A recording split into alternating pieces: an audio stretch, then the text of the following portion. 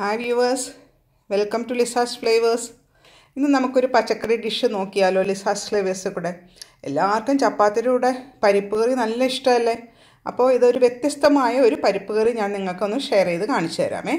ഇത് പണ്ടത്തെ ലക്നൗവിലൊക്കെ മുഗൾ രാജാക്കന്മാരുടെ അവിടെ ഉണ്ടാക്കിക്കൊണ്ടിരുന്ന ഒരു ടൈപ്പ് ഓഫ് പരിപ്പ് കറിയാണ് കേട്ടോ. സാധാരണ നിങ്ങൾ ഉണ്ടാക്കുന്നതിലും കുറച്ച് വ്യത്യാസം ഇതിന് കാണും. അപ്പോൾ അതിന് എന്തൊക്കെ ഇൻഗ്രീഡിയൻസ് വേണ്ടതെന്ന് ഞാൻ പറഞ്ഞു തരാം. ഞാനിപ്പം ഒരു കപ്പ് പരിപ്പ് മഞ്ഞൾപ്പൊടിയും ഉപ്പും രണ്ട് പച്ചമുളകും കൂടി ഇട്ട് വേവിച്ച് വെച്ചിട്ടുണ്ട്. അത് പ്രഷർ കുക്കറിൽ ഒരു രണ്ട് വിസിൽ അതങ്ങനെ വേവിച്ച് വെച്ചിട്ടുണ്ട്. പിന്നെ നമുക്ക് വേണ്ടത് സവാള. സവാള ഒരു വലിയ സവാള ഞാൻ ചെറുതായിട്ട് അരിഞ്ഞെടുത്തിട്ടുണ്ട്. പിന്നെ നമുക്ക് വേണ്ടത് നെയ്യ്. ഇത് നമ്മൾ നെയ്യിലാണ് ഉണ്ടാക്കുന്നത് ഈ ഡിഷ് കേട്ടോ. ഒട്ടും ഓയിൽ ഉപയോഗിക്കുന്നില്ല ഫുൾ നെയ്യാണ്. പിന്നെ നമുക്ക് വേണ്ടത് രണ്ട് ടേബിൾ സ്പൂൺ തൈര് വേണം രണ്ട് ടേബിൾ സ്പൂൺ ക്രീം വേണം ഫ്രഷ് ക്രീം പിന്നെ നമുക്കൊരു ടു ഹൺഡ്രഡ് എം എൽ പാലും വേണം. പിന്നെ നമുക്ക് ഇതിനകത്ത് തടുക്ക എന്ന് പറഞ്ഞാൽ മുകളിൽ കടുക് താളിച്ചിടുന്ന പോലെ ഇടാനായിട്ട് നമുക്ക് വേണ്ട സാധനങ്ങൾ നെയ്യിൽ തന്നെ നമുക്ക് ജീരകം വേണം. ഇപ്പം വെളുത്തുള്ളിയും ഇഞ്ചിയും കൂടെ ചെറുതായിട്ട് അരിഞ്ഞത് കുറച്ച് മുളക് പൊടി പച്ചമുളക് വറ്റൽമുളക്. ഇത്രയും നാണ് നമ്മൾ നെയ്യിൽ വറുത്ത് ഈ കറിയുടെ മുകളിൽ ഇടുന്നത്.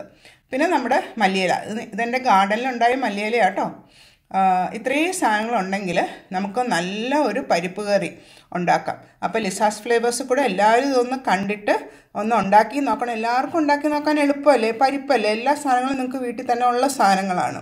അപ്പോൾ ഇത്രയും സാധനങ്ങൾ വെച്ചിട്ട് നല്ല ഒരു ലക്നൌവി ദാൾ. അത് ഉണ്ടാക്കിയിട്ട് എന്നെ അഭിപ്രായം പറയണം കേട്ടോ. നമ്മുടെ ദാൽക്കറി കറി ഉണ്ടാക്കിയാലോ? അപ്പോൾ ആദ്യം തന്നെ ഞാൻ പറഞ്ഞു നെയ്യ്. നെയ്യ് ഇപ്പോൾ ഇതിൽ ഞാൻ മൂന്ന് ടേബിൾ സ്പൂൺ എടുത്തേക്കുന്നതിൽ രണ്ട് ടേബിൾ സ്പൂൺ നെയ്യ് ഇപ്പോൾ ഇതിനകത്തോട്ട് ഇട്ടു കേട്ടോ. മറ്റേ നമുക്ക് തടുക്കയാക്കാനായിട്ട് എടുക്കാം. അതിന്റെ കൂടെ തന്നെ അരിഞ്ഞ് വെച്ചിരിക്കുന്ന സവാള. ഒരു സവാള മീഡിയം സൈസിൽ അരിഞ്ഞത് അതും കൂടി ഇട്ടു. കണ്ടോ? ഇനി ഇതിനകത്തോട്ട് നമ്മൾ അരിഞ്ഞു വെച്ചിരിക്കുന്ന വെളുത്തുള്ളി ഇഞ്ചിയും കുറച്ച്. ഞാൻ കുറച്ച് നമുക്ക് മുകളിൽ തടുക്കയായിട്ട് ഇടാൻ വേണം. അതിൽ പകുതി ഞാനിപ്പം ആഡ് ചെയ്യണേ. നീല സവാള മഴന്ന് വരുന്ന നല്ലൊരു മണം ഇപ്പോഴേ വരുന്നുണ്ട് കേട്ടോ. നല്ല റിച്ച് ഒരു ദാൽ കറിയാണ്. ചപ്പാത്തിയുടെ ഏറ്റവും ബെസ്റ്റാണ് ഈ കറി. ചപ്പാത്തി റോട്ടി അതിന്റെ കൂടെയൊക്കെ നന്നായിട്ട് പോകുന്ന ഒരു കറിയാണ് അപ്പോൾ നിങ്ങളുടെ കയ്യിൽ ഇത് ഉണ്ടെങ്കിൽ ഇതെല്ലാം ഇൻഗ്രീഡിയൻസ് ഉണ്ടെങ്കിൽ നിങ്ങളൊന്ന് ഉണ്ടാക്കി നോക്കണം. പിന്നെ ഈ ഡിഷിന് ഒരു കാര്യം കൂടെ ഉണ്ട് ഫൈനലായിട്ട് ചെയ്യേണ്ടത്.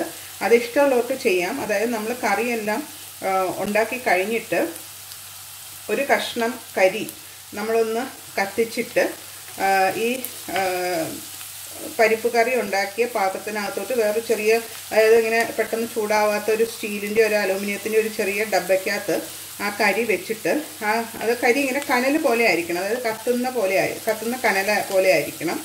അതായത് നല്ല ചൂടുള്ള കരി കഷ്ണമായിരിക്കണം. എന്നിട്ട് അതിനകത്തോട്ട് ഒരു സ്പൂൺ നെയ്യ് ആ കരിയിലോട്ട് ഒഴിക്കുമ്പോഴത്തേക്കും ഇങ്ങനെ നന്നായിട്ട് പുക വരും.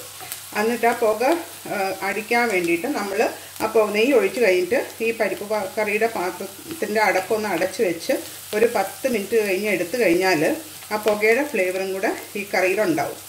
അപ്പോൾ എനിക്ക് ചെയ്യാൻ പറ്റുമെന്ന് എനിക്ക് അറിയത്തില്ല ഞാൻ നോക്കട്ടെ കറി കഷ്ണം അന്വേഷിക്കുന്നുണ്ട്. കിട്ടുകയാണെങ്കിൽ ഞാൻ നിങ്ങൾക്ക് കാണിച്ചു തരാം. കേട്ടോ? ഇപ്പം എന്റെ തൽക്കാലം ഇല്ല. ഞാനിപ്പം അത് ഞാൻ പറഞ്ഞു തന്നേ ഉള്ളൂ. അത് ചെയ്താൽ ആ പുകയുടെ ഫ്ലേവറും കൂടെ ഇഷ്ടമുള്ളവർക്കാണെങ്കിൽ അത് നല്ലൊരു കറിയാണ്. കേട്ടോ? നല്ലൊരു ഫ്ലേവർ കിട്ടും ശരിക്കും പുകയുടെ. അതാണ് ശരിക്കും ഈ ആക്ച്വൽ റെസിപ്പിക്കകത്ത് അതുണ്ട്. അപ്പോൾ അത് സൗകര്യമുള്ളവർ അത് ചെയ്തിട്ട് നോക്കണം. കേട്ടോ? അപ്പോൾ ഇതെല്ലാം ഇത് ഈ സവാള ഒന്ന് വഴന്ന് വരുന്നവരെ നമുക്കൊന്ന് വെയിറ്റ് ചെയ്യാം. കേട്ടോ? നമ്മുടെ സവാളയൊക്കെ നന്നായിട്ട് ഒത്തിരി അങ്ങ് ബ്രൗണൊന്നും ആവണ്ട.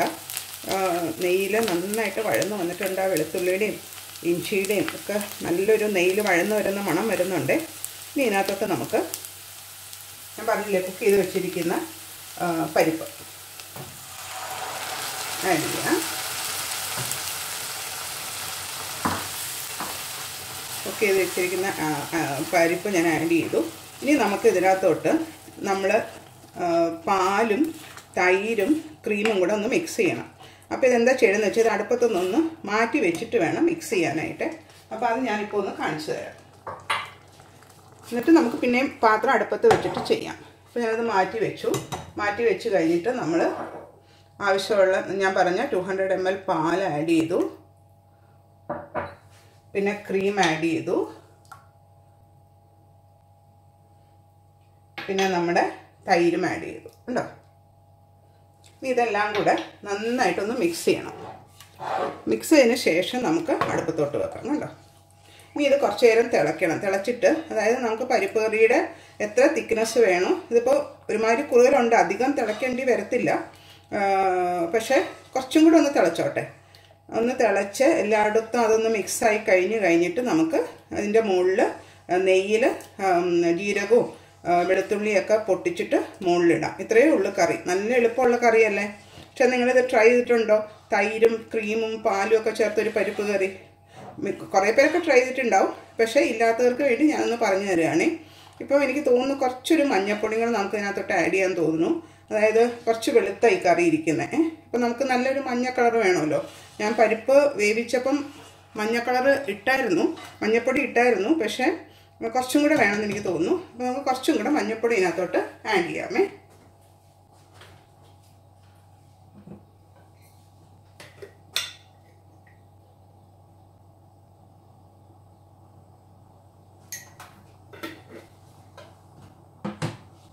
ഇതാ മഞ്ഞൾപ്പൊടിയും കൂടെ ഞാൻ ആഡ് ചെയ്തു. ഇതൊന്ന് തിളക്കട്ടെ കേട്ടോ. ഇത് തിളച്ച് നിങ്ങളുടെ ആവശ്യത്തിനുള്ള ചാ കുറുകളിനനുസരിച്ചിട്ട് ഇപ്പം ഇതിങ്ങനെ ഒത്തിരി കുറുകി ഇരിക്കുകയാണെങ്കിൽ നമുക്ക് വേണമെങ്കിൽ കുറച്ച് വെള്ളം കൂടെ ആഡ് ചെയ്തിട്ട് കുറുകൾ ശരിയാക്കാം. എനിക്ക് പക്ഷേ ഇത്രയും മതി. ഇത് ആവശ്യത്തിനുള്ള കുറുകലുണ്ട് എനിക്ക്. പിന്നെ നമ്മൾ ഉപ്പൊക്കെ ഒന്ന് ടേസ്റ്റ് ചെയ്യണം. ഇതെല്ലാം ഇപ്പം നമ്മൾ തൈരും ക്രീമും ഇതെല്ലാം കൂടെ ആഡ് ചെയ്തുകൊണ്ട് നിങ്ങൾ ഉപ്പ് എല്ലാവരും ഒന്ന് ടേസ്റ്റ് ചെയ്ത് നോക്കിയിട്ട് ആവശ്യമുണ്ടെങ്കിൽ കുറച്ച് ഉപ്പ് ചേർക്കണം. നമ്മളിപ്പം പരിപ്പ് വേവിച്ചതിന് മാത്രമേ ഉപ്പിട്ടിട്ടുള്ളൂ അപ്പം കുറച്ച് ഉപ്പും കൂടെ ആവശ്യം വരും മിക്കവാറും. അപ്പോൾ അത് നിങ്ങളുടെ ഇഷ്ടം കേട്ടോ. അപ്പം ഇതൊന്ന് തിളക്കട്ടെ. അതുവരെ നമുക്കൊന്ന് വെയിറ്റ് ചെയ്യാമേ.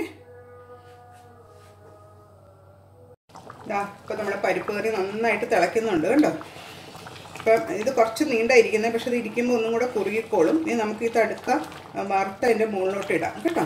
അപ്പം ഞാൻ ഈ പാത്രം അടുപ്പത്തൊന്നൊന്ന് മാറ്റി വെച്ചിട്ട് നമുക്ക് വേറൊരു പാൻ അടുപ്പത്ത് വെക്കാം.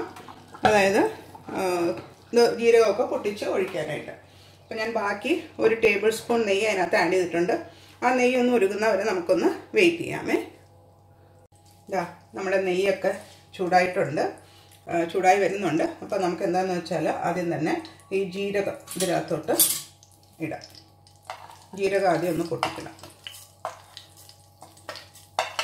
ജീരകത്തിന്റെ ടേസ്റ്റാണ് ഇതിനകത്ത് നമ്മൾ സ്പൈസായിട്ട് ആകെ ഉപയോഗിക്കുന്ന ജീരകം മാത്രമേ ഉള്ളൂ. നല്ല ജീരകം ഉപയോഗിക്കാം. കണ്ടോ? ഇതൊന്ന് മൂത്ത് ഒന്ന് ഒന്ന് പൊട്ടിയാൽ മതി. പൊട്ടുമ്പോഴത്തേക്കും നമുക്ക് നമ്മൾ അരിഞ്ഞു വെച്ചിരിക്കുന്ന വെളുത്തുള്ളിയും ഇഞ്ചിയും കൂടെ ഉള്ളത് ഇതിനകത്തോട്ട് ഇട്ടൊന്ന് മുപ്പിച്ചെടുക്കണം ഒരു ബ്രൗൺ ആവുന്നവരെ മുപ്പിച്ചെടുക്കണമേ അപ്പോൾ ഞാൻ അത് ഇടുക കേട്ടോ.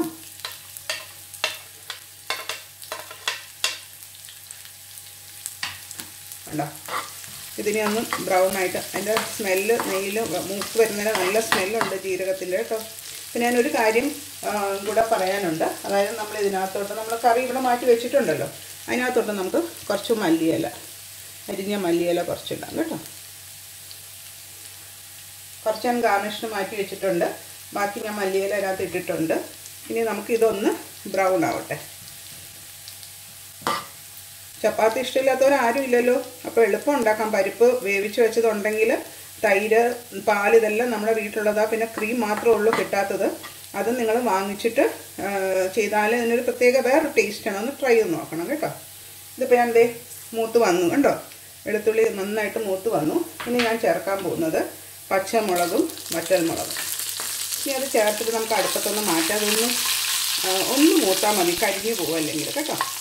പിന്നെ ഫൈനലായിട്ട് നമ്മുടെ മുളക് പൊടി. കണ്ടോ? നമുക്ക് കാണാലോ? ഞാൻ മുളക് പൊടി ഇട്ടു. ഇനി നമ്മളിത് ആ പരിപ്പ് കറിയുടെ മുകളിലോട്ട് ഒഴിക്കുക. കേട്ടോ? ഇതാ. നമ്മുടെ പരിപ്പ് കറി റെഡി ആയിട്ടുണ്ട്. അപ്പോൾ നിങ്ങളെല്ലാവരും ഒന്ന് ലിസാസ് ഫ്ലേവേഴ്സിലെ കണ്ടിട്ട് ട്രൈ ചെയ്തിട്ട് പറയണം അഭിപ്രായം പറയണം കേട്ടോ. നല്ല ഭംഗിയില്ലേ? നല്ല പച്ചമുളകും ചുമന്ന മുളകും എല്ലാം അതിന്റെ മുകളിലിട്ട് ഇപ്പോൾ ഇപ്പം തന്നെ ചപ്പാത്തി ഉണ്ടാക്കിയിട്ട് നിങ്ങൾ കഴിക്കണം കേട്ടോ. ഞാനൊന്നും കൂടെ കാണിച്ചു തരാം. ഇതാ. നമ്മുടെ പരിപ്പ് കറി അതായത് റോയൽ പരിപ്പ് കറി നവാബി അല്ലെങ്കിൽ ലക്നൌവി പരിപ്പ് കറി എന്ത് പേര് വേണമെങ്കിലും നിങ്ങൾ ഇട്ടോ. റെഡി ആയിട്ടുണ്ട് കേട്ടോ.